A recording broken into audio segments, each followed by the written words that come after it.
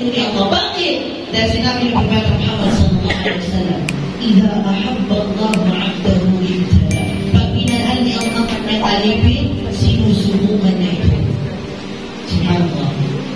Hindi tinubyo at hindi problema ang pagiging mahirap dahil majority sa lahat ng propeta ay mahirap. Bakit may kinahiya kami mahirap? Mahiya ka! Kung ikaw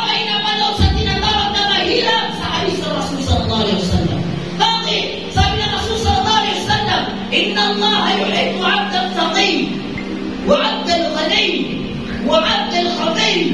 Sinabi ni Propeta Muhammad sallallahu alaihi wasallam, mga totohanan na si Allah ay mahal niya ang taong alipin niya na natatakutin kay Allah.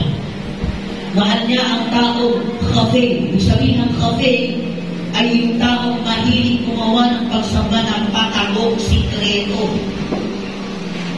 Hindi yung sikreto ginagawa sa hotel, ha?